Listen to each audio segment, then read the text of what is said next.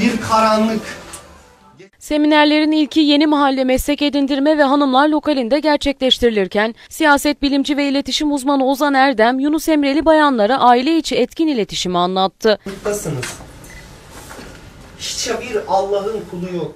Semineri dinleyenler arasında Yunus Emre Belediye Başkan Yardımcısı Şule Uygur, kişisel gelişimin önemine dikkat çeken bu tür etkinlikleri önemsediklerini söyledi. Uygur konuya ilişkin yaptığı açıklamada, lokalimize karşı gösterdiğiniz ilgi bizi çok mutlu ediyor ve belediye başkanımız Mehmet Çerçi özellikle hanım lokallerine çok büyük önem veriyor diye konuştu. İşte aile hepimizin de ailesi var.